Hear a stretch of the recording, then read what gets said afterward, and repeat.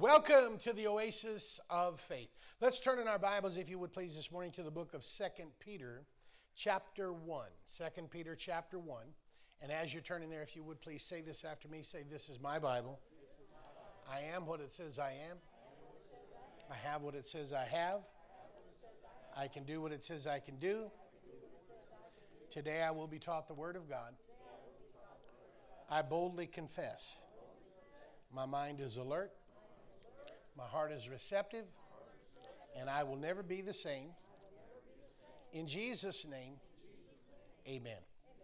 Today, as we celebrate the birth of our Savior and Lord Jesus Christ, I want to deal with you with about a couple of things that the Lord gave to me yesterday as, as I was uh, I was all prepared, had my lesson all all laid out, and the Lord changed it. But there's a couple of things that we need to understand about today. The fact that it is a day that we acknowledge the birth of Christ. And like I told you earlier, we really don't know when he was born, the exact day, but we have an idea. But the first thing I want to deal with is the, is the, the, the word Christmas. Christmas. Because the word Christmas is actually a conjunction word. In other words, it's made up of two words. The two words are Christ and Mass.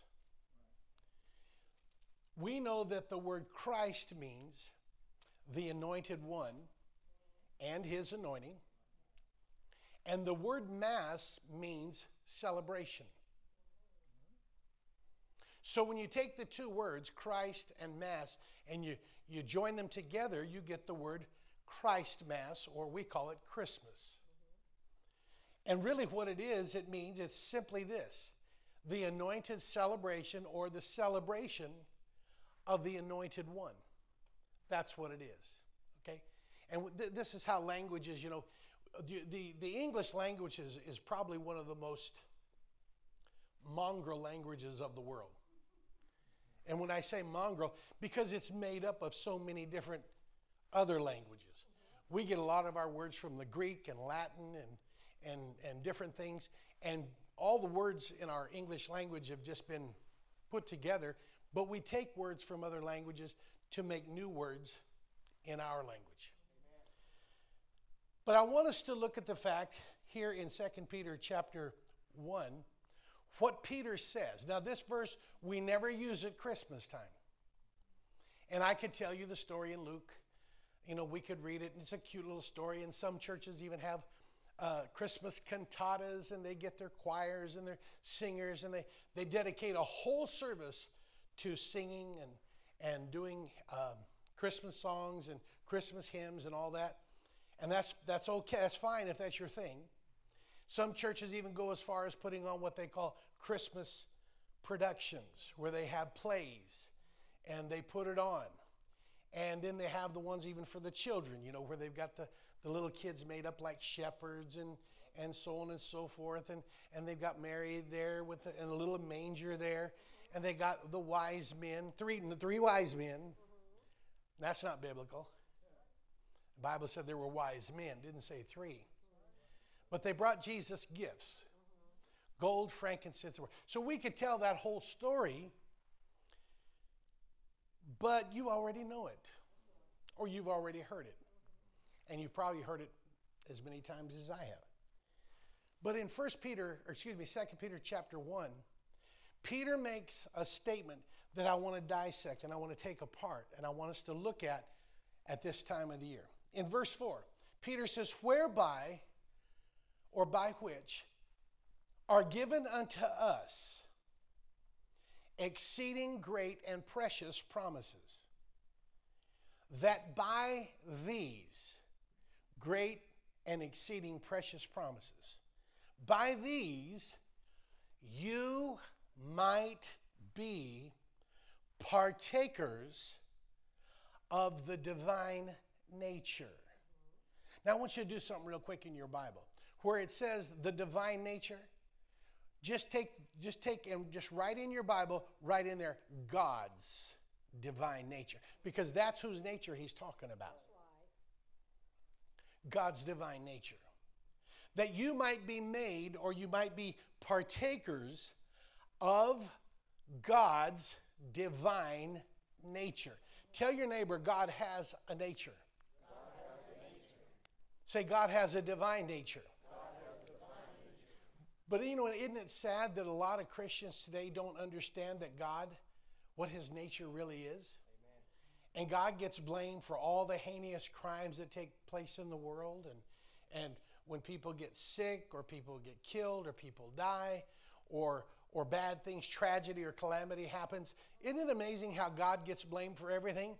But you will never find that in His nature, not in God's nature. No. Not in God's nature. But God gets blamed for it. So what's happened here? The enemy, Paul says in 2 Corinthians, that the enemy, the devil, has the God of this world, he calls him, he has blinded the minds of them who are lost. And it's sad to say, and I'm going to add a little bit to it, he's even blinded the minds of them that supposedly believe. because he gets blamed for it. But Peter says here that you might be a partaker or partakers of God's divine nature, having escaped the corruption that is in the world through lust. So the Bible says that you and I are partakers of the divine nature, or we should be, we might be. But what it's important for us to figure out now, and especially at this time of the year, what is God's divine nature? because God does have a divine nature. God's nature is to be holy, loving, caring, forgiving, compassionate, and giving. Better stop right there. Because I don't think the church, they like all the other parts.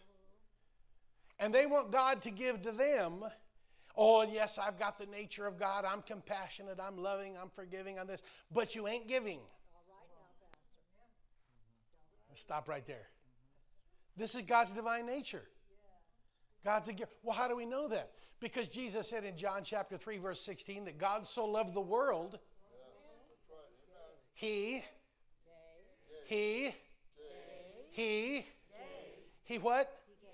He gave what? his only begotten Son, that whosoever would believe in him should not perish but have everlasting life. That's the nature of God, along with the others that we just talked about. Is giving. That's the nature of God. And and Peter said here that we might be partakers of that divine nature. You still with me or did you go home? So now, watch this. God didn't just decide one day, well, I think I'm going to take Jesus and throw him at the people. That's not what he did. See, God had a plan. In other words, what did he do here? God gave thought and preparation before he ever gave us the greatest gift to all of mankind in the form of his son, Jesus Christ. And in doing so, now watch this very carefully. And in doing so, God had something on his mind. Are you ready for that? Can you handle this? He had some when see when, when God didn't just say one day, Well, I'm going to give Jesus to die for the sins of the world. He didn't do that. He had a plan, he had something on his mind and the fact is that you were on his mind. Amen. Centuries and millennia in the future, yes. God had you on his mind before you were ever conceived. Before you were ever thought of by anyone, any human being, God had you on his mind. And he wanted you. He wanted you to be a part of his family. But he knew in order to get you to be a part of his family, he had to sow a seed. He had to be willing to give of himself through his son to die for the sin of mankind. You still with me? But the awesome thing about it was, he had something on his mind, which was you, but not only you, he had something else on his mind. Why? Because the next thing we're going to look at is part of his nature. Go to Psalm 115. Psalm 115. Glory to God. What we're going to look at is leading us up. And God is preparing for us, just like He did for us 2,000 years ago in giving His Son. God is preparing us for the future. Say the future. See, you have a future whether you realize it or not. See, you're only focused in on today, where you are right now. Uh-huh. And you got to get your eyes off of right now and what is.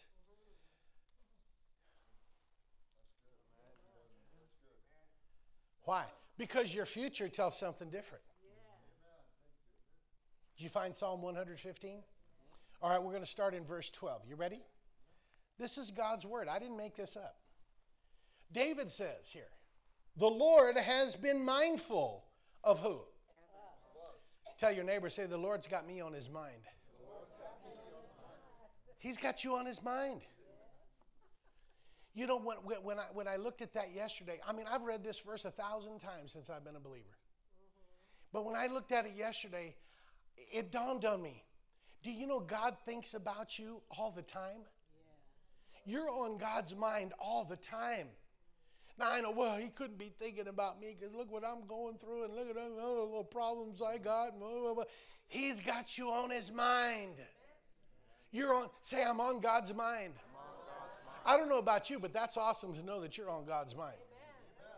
David said he's been mindful of us. But he didn't stop there. He said he will bless us. The word bless means empower us to prosper. God will empower you to prosper. He will bless the house of Israel. First, he said he'll bless us, he'll bless the house of Israel, and he'll bless the house of Aaron. Watch verse 13. He will bless them who fear, reverence, and respect the Lord, both small and great.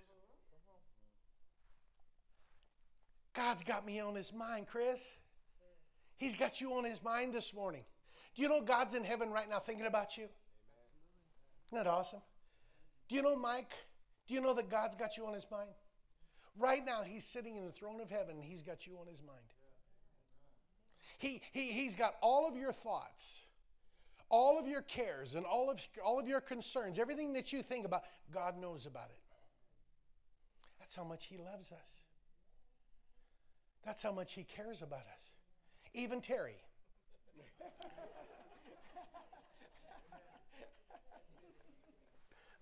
love you, man. Uh, God's got you on His mind. He's mindful of us mindful of us. He, he, he blesses us. Huh? He blesses. He's got blessing on his mind. Oh my goodness. He will bless them who fear the Lord, respect and reverence him, both small and great. Now watch verse 14. The Lord shall increase you. Okay. Now I see two things right here uh, in this, in this, just, just right there in those opening, in that opening statement of verse 14. The Lord shall increase you. He's got two things, two more things of his nature. Besides the fact that he bless you, that's his nature. Giving is his nature. He's mindful of you, that's his nature. Now watch this. The next part is he shall increase you. He's got increase on his mind. Increase is part of the divine nature of God. Oh, make me want to run. God's got increase on his mind for you.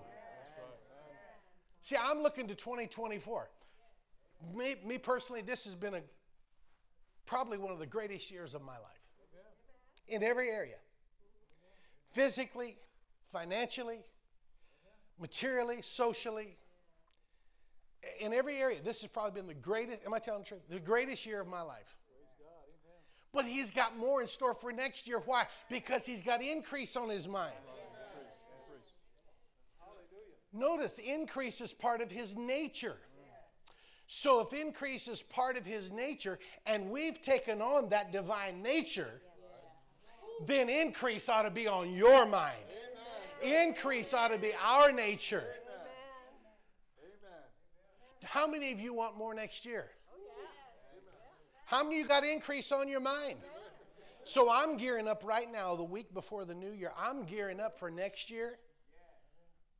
Increase is going to be on my mind all year. For this church, numerically, spiritually, and financially. You better get ready. How many of you are living? You're tired of living from paycheck to paycheck. How many are tired of it? You're not tired of it? Huh? I'm tired of it. I'm tired of it. Tired of living from paycheck to pay. See, God wants us to get out of that paycheck to paycheck mentality. God wants to get you and I into a place where you don't even have to be concerned about a paycheck. You got so much. That's right. That's right. That's right.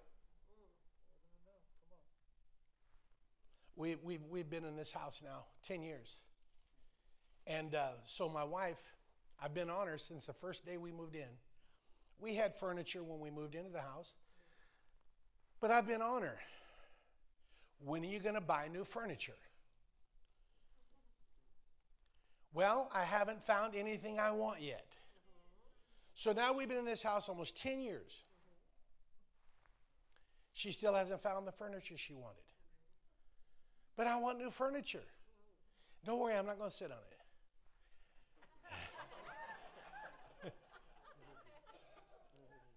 She got the money. No, she can go. She can go and pick. Whatever she wants, pay cash for it. She has the money. She, she has it. And I said, babe, when are you going to get new furniture? She says, when I find what I want. So now I bet I just back off. Why? Because I know she's not going to get anything until she get what she wants. Well, finally, the other day, she came home and said, guess what? She got increase on her mind. And she went and bought what she wanted. They're getting ready to deliver it any day now. Thank God. Thank God. Hallelujah. What am I talking about this morning? If we've got the divine nature of God like Peter told us, and we do, then increase should be in our mind. Each and every day. Tell your neighbor, I've got increase on my mind. You got increase on your mind? No, you got increase on your mind? I'm talking about increase on your job, increase in your marriage, increase in your home, increase in your relationship with the Lord. Increase. Now, I don't have to tell you my business. And, I, don't and, I, and you got to understand, I'm not telling you this to make you think that I'm somebody special, because I'm not. Okay? Paul and I had a long talk this morning about it. I love this guy, man. I'm telling you. This, you don't know how, uh, how much I love this guy. And I appreciate him. But anyway, not that I'm special or anything, but this year I make it a point to read through the Bible every year. And I have, I've been doing this for years. And I've lost count. So to tell you how many times I've read the Bible, I'd be lying because I don't know. But this year I made it a point to go through the Bible twice. And I've read through from Genesis to Revelation twice this year. And so at the part at the at the beginning of December this year, I went back to the book of Genesis again. Well, I always read, read the book of Revelation first, and then I go back to Genesis. So now, since December 1st, I've read Revelation, Genesis, Genesis, and Exodus. And then by the end of the week, I will have read Leviticus again. So that's four, four chapters, you know, of, of the Bible and already. So two, two full times and four, cha- four, four books this year. Next year, I want to increase that. I want to pray more next year. And I've already got some things in line for increase next year that I want to I want to do next year spiritually in my own personal life. I'm already making plans now to increase that. I've already got some things planned out financially for increase, things I want to do financially that are, that's not going to give anything to me, but to give it away.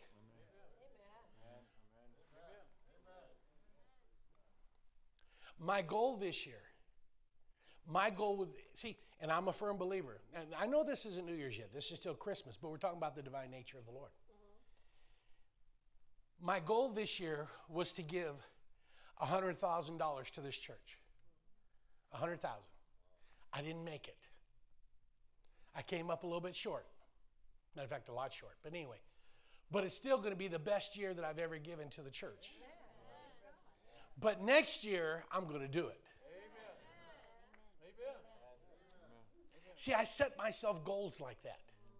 Because if I don't have any goals, I have nothing to shoot at. I have nothing to, to go after. Do, do you understand? I'm a firm believer that it's better to have, now some people call them New Year's resolutions, but they turn into revolutions. But I'm a firm believer that you need to have goals. Because if you don't have any goals and set any goals, you don't have anything to shoot for. But I'd rather have a goal and not achieve it than to have no goal at all. You've heard me say that for years. But next year, starting right now, I got increase on my mind. Why do I have increase on my mind? Because the Lord's been mindful of me. He's got increase on his mind. So if that's part of his nature, his divine nature is for increase, why can't it be a part of our nature for increase? Because we've got his divine nature. Are, are you still with me? Or did you go home? Okay, I'm gonna I'm gonna I told I was gonna keep it short, and I am. So David informs us that God is mindful of us. Oh my goodness. He said he will increase you more and more, you and your children. Catch that. He says, You're blessed of the Lord. You're empowered to prosper of the Lord, who made the heaven and earth. The, now, watch what he says here in verse 16. The heaven, even the heavens, are whose? The Lord's. But the earth, say the earth, The earth. has he given. David said, The earth has he given. Uh-huh. God's a giver. That's his nature. The earth has he given to who? Who are the children of men? Say, The earth is mine. Because the Lord gave it to me. Now we know the Bible says the earth is the Lord's and the fullness thereof. But if it's the Lord's, does he have a right to give it to whoever he wants to give it to? If it's his? He said, The earth has he given to the children of men. That's you and I. Why did he do this? David said, Because the dead praise not the Lord, neither any that go down into silence. But we, say we. Let's make it personal. Say I. But I, but I will bless the Lord from this time forth and forevermore. Praise the Lord. That's what David said. See, so next year, because of we because we have the nature of God, next year, because we have increase on our mind like the Lord does, we have his nature. Next year, when we come to church, we're not going to come in looking like we've been sucking on a lemon. Well, how are we going to come to church? Praise the Lord.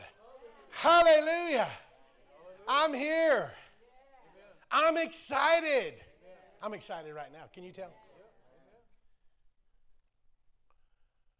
I've made plans already for next year because I am believing 2024. If Jesus doesn't rapture us out between now and New Year's Day, 2024 is going to be the greatest year of my life. Even greater than this year? Yes. Oh, yes. It's going to be even greater. Why? Because I'm going to continually keep the nature of God within me and I'm going to keep increase on my mind and I'm going to be mindful of him like he's mindful of me. See, the problem with a lot of Christians is they're not mindful of the Lord. They only think about the Lord on Sunday. And a lot of Christians don't even think about him on Sunday. A lot of Christians only think about the Lord when they get in trouble. I'm just telling you about me now because I, I can talk about me and not get my feelings hurt. But when I wake up in the morning, the first thing on my mind is Jesus. He's the first thing on my mind. I don't say, Good Lord, it's morning. I say, Good morning, Lord. Thank you for giving me another day. Thank you for giving me breath in my lungs. Thank you for giving me a spring in my step. Lord, thank you that I don't have to use a cane. Thank you that I'm not in a wheelchair. Thank you, Lord, I don't get around like an old man. Thank you, Lord. Huh? Why? Well, I'm getting older, but I refuse. I'm getting older, but I refuse to get old. I'm not going to get old. I refuse it. I refuse getting old. So David informs us that God is mindful of us. But not only, not only mindful of us, but he has increase on his mind for us. He has increase on his mind for us. He said he would increase you more and more, you and your children. So, this is another attribute of God's nature, his divine nature. So, now if we, you and I, are partakers, if we are partakers of God's divine nature, then shouldn't we have increase on our mind? Say, I have increase on my mind. Say, I have increase on my mind for 2024. For 2024. So, so I'm, I'm going to I'm gonna put you to the test this year. You ready? When I see you and I say, How you doing? What are you going to tell me? Increase on my mind. Amen. That's all I want to hear. And that's all you need to be telling anybody else. You don't need to be telling them about your problems. You don't need to be telling them your sins. You don't need to be telling them what you're going through because they really don't care. But if you tell them you've got increase on your mind, it's going to spark something in them. That's the Bible says that iron sharpens iron. You're iron. I'm iron. We're iron. We all sharpen each other. We keep everybody. Come on, this, we keep everybody in check. We keep each other in check, do we not? My wife and I made a covenant a long time ago. We made an agreement. We said if we ever catch each other saying the wrong thing or doing the wrong thing, we gave each other the right to call us call each other on the carpet. And in all those years, I can honestly tell you, probably count them on about five on one hand how many times we've caught each other. Her and I together. Why? Because we've made a decision to stick with the word. That's right. To let the word be final authority in our life. That's right. You with me? Yeah. But see, too many Christians are concerned about just getting by. And they're not thinking about or being mindful of the fact that God wants them to prosper and increase. They're not thinking about that. Real quick, and I'll close. You ready? Second Corinthians chapter 9, because I'm going to show you something here. Second Corinthians chapter 9. Now remember the things we talked about. God's divine nature is holy, loving, caring, forgiving, compassionate, giving. God's divine nature is increase. God's divine nature is to have you and I on his mind. Therefore, all these things we just talked about, just flip it over now, and that should be our nature as well. Because we have his nature. Say, I have the nature of God. Now, what I'm going to share with you right now, you all know this verse. And I know you know it. But sometimes it's good to look at it again. 2 Corinthians chapter 9. Are you there? Look at verse 6. Now, why am I looking at this verse? Because this is the Christmas time of the year, and people get into the to the spirit of giving, and some get into the spirit of receiving, and you know, and so I'm, I've I've always been this way. This is just the way I am. I'm a giver. I'm a giver. I don't place a lot of emphasis on receiving. That's just me now, okay? And the reason why is because of what Jesus said when he told the Apostle Paul that it's more blessed to give than to receive. Because I know if I obey God's voice, he'll take care of me. You with me? And he has. He's taking good care of me. But Paul talks about giving here and sowing here in these verses here in chapter 9, verses 6 and 7. And Paul says this He says, But this I say, he who sows sparingly shall reap also what? Or he who sows little will reap what? Little. He who sows bountifully or much shall reap what? Bountifully or much. Now, watch this verse 7 very closely. Every man, that means every woman too. That's it's talking about every believer. Yes. Every man according as he purposes in his heart. See, that's where it takes place. Giving is a condition of the heart. You with me? It's a condition of the heart. Every man according as he purposes in, in his heart, so let him give. Not grudgingly or of necessity. Why, Paul? For or because God loves what? Now we know in this church the word cheerful means what? Say it again. A cheerful giver is one who is happy, hilarious, and prompt to do it. That's what God likes. In other words, God treasures that type of a giver. Why? Because that's how God is, that's His nature. So now, I want to close. I told you I was going to. Already, can you believe that? No, no, you, I know you didn't tell me to do it. This is what the Lord laid on my heart for the people. The Lord said, give them, eh, give them a little bit of extra time to enjoy today. There's five things, and I want you to write these down. There are five things a believer must do when they give. You ready? And all of these are attributes of God's divine nature. You ready? Mm-hmm. Number one, he must be, or he must give willingly from his heart. That's the first time. Do you know that God was willing when he gave Jesus? He was willing to give Jesus from his heart because the Bible says he so loved the world. The world represented there was talking about the sinners. You and I were sinners. You and I had a first class ticket to hell. But he loved us anyway. And because his heart was right and he loved us, he was willing to give his very best for us. He gave his very best. Number two, he must not give grudgingly or feeling forced into it. Never give if a preacher is forcing you or telling you you have to give. Don't, don't, don't do that. Because, first off, it won't work because your heart's not right. This is, a, this is something between you and God that you have to get right in your own heart. So, if somebody is trying to force you into giving, it'll backfire. It won't work. You got to give because your heart's right. That's why the Lord gave Jesus. Number three, he must not give out of compulsion. You know what compulsion is? Everybody know what compulsion is?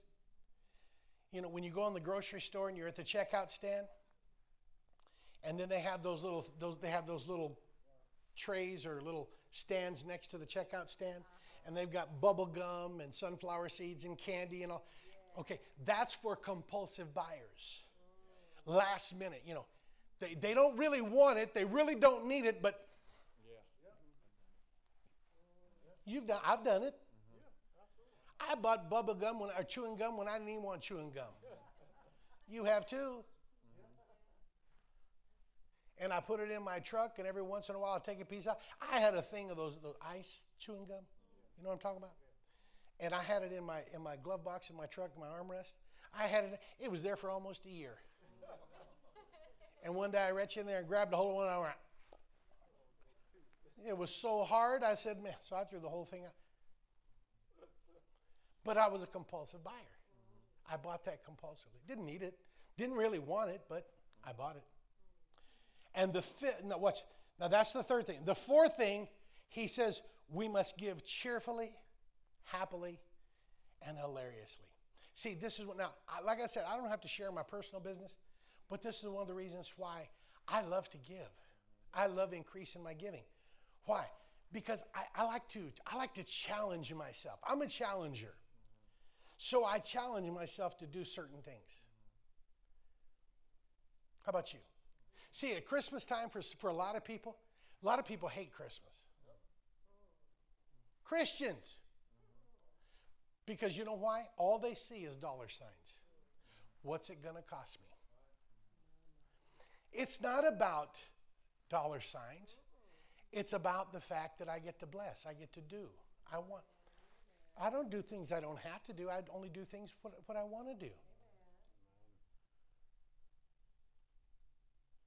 I better not share that.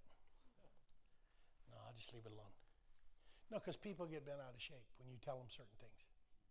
Well, I don't think you ought to do that. Well, ain't none of your business. It's my money. I can do what I want with my money. If I want to flush my money down the toilet, I can flush it down the toilet. It Ain't none of your business. But you could have gave it to me. Yeah, and then you wouldn't appreciate it. That's right. Moving right along. You must give cheerfully, happily, and hilariously. And the fifth thing, you ready? The fifth thing when you give, always give with expectation that God, now listen to what I'm about to say, that God will give you the increase on it. Some people say, Well, I, have given and I never get anything. Well, what'd you expect? Nothing. Well, that's why you didn't get anything. Now, watch this. But, Pastor, you said, you, you, I've, I've told you this over the years. When I sow, when I give a seed, I always expect a harvest on the seed that I plant. Now, here's where people get in trouble. You might bless someone. Now, listen to me. You might bless someone, but never expect to get it back from the person you blessed. Do you know who I expect it from?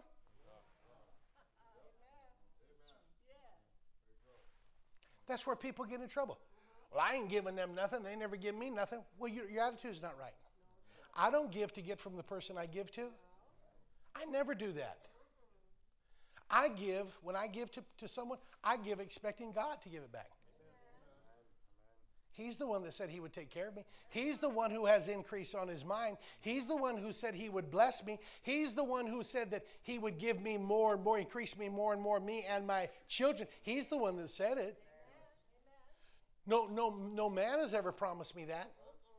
So if I'm looking to man to give it back to me, I've missed it. I've missed it. Always expect God. Why? Quit looking to people as your source. God, now watch this.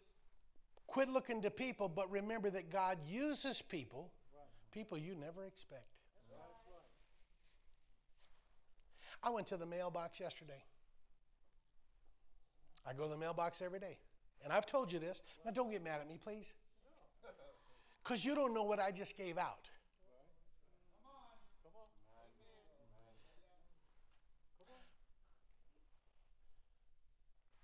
I just gave out the last week, I gave out $8,000. I didn't tell you that to say, wow. But I went to the mailbox yesterday, and there was $2,000 in my mailbox. Praise God. Hallelujah. But more's coming. More's coming. You gave away that much money. Yeah, and I'm not done because tomorrow's Christmas. Now I got to take care of my family tomorrow. Kids, grandkids. And they, they love dad and grandpa, they love him. But here's the thing when I go tomorrow, when I go to meet them all, I never expect anything from them. I don't expect anything from my kids and grandkids. I never expect anything from them. Do I? But when grandpa shows up, when dad shows up, Hey, because I ask them, well, I, I, I quit asking them now because they know they ain't getting nothing but money. They never have to take anything I give them back. Huh? I don't, I don't go buy gift cards. I hate gift cards. That's just me. Okay? Because I don't like gift cards. I don't like, I don't like to try to figure out how to work them out and go online and do it. No, just give me the cat. Give me the green stuff, baby. I'm easy. Spins easier. Am I telling the truth?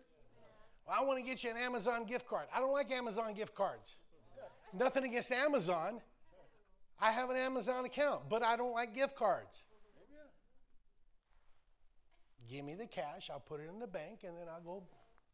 That's how I am. But God uses people. Say, God uses people. I got to hurry up. I got to hurry up. I got to hurry up. God uses people to increase you and to bless you. But He is your Jehovah Jireh. He is your provider, not people. He is. Amen? So, the Christmas time of the year, the Christmas season, should be a time to be happy and thankful and not a time to grudge.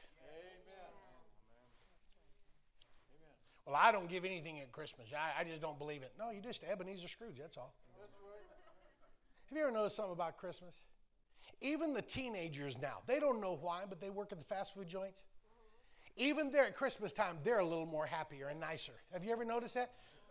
I've been there twice this past week, drove through, and they got my order right both times. First time in history.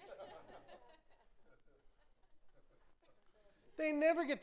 And I went, I went through one, and the little girl at the window, she says, um, "Sir, everything's in the bag." I said, "Is it okay if I checked?" Well, yeah, but it's all in there. I said, "They tell me that every time I come, but I want to make sure because I'm not driving off and then having to come back." Right. I've learned that the hard way. Right. But it's also a time to prepare yourself. Now, listen to what I'm going to say, and I'm going to close. It's also a time, Christmas is a time to prepare yourself for the new year with expectation of increase. What I tell you you're going to say next year when I, when I see you? What are you, what are you going to tell me? No, no, what are you going to tell me? Come on. What do you have on your mind? Increase. See, now this is the time of year to begin expecting for next year. This year's over. You only got a week left in this year. Forget it. Forget it. It's gone. This is gone. You can't get it back. But next year, I got increase on my mind. Huh? Just like God our Father had increase on his mind when he gave us Jesus Christ. Amen. What do you got on your mind? Increase. What do you got on your mind? Increase. What do you have on your mind? Increase. Now, see, now you're going to be one up on everybody who wasn't here today. You're going to be up on them because next year you're already. Okay, I'm going to mess with you. I'm going to mess with you. What do you got on your mind? I got increase. So that means increase where? Everywhere. Everywhere. Spiritually, spiritually, emotionally, everything. On the job? On the job. Paycheck? Paycheck. Better hours? Going up. Get the paychecks going up, hours going up, pay, Hours going up. wages going up, hours going up. Huh? You expecting it? schedule I want? Yes, sir. Schedule you want? Yes, sir. What do you got on your mind, Al? Increase for 2024. Increase for 2024? Where? Everything. School, job, home life, uh, piano playing, all over. She's, she's declared she's going to be our keyboardist. Where else? Uh, Financially. Number one. Hey. You see these things? Got to keep this on our mind. Why? God's mi- mindful of, of increasing us more and more. Then we ought to be mindful of the fact that He wants to increase us more and more. Amen. I'm done. Did you get anything out of that? Merry Christmas. Carla and I love you. We appreciate you, and we're expecting 2024 to be the greatest year of our lives. Amen. So, we trust this message has been a blessing to you. The announcer will give you more information how you can obtain an audio or video of the message you've just heard. Remember also that these broadcasts are made possible by the continued free will offerings of you, the viewers and listeners. Remember also that God loves you, we love you, and Jesus is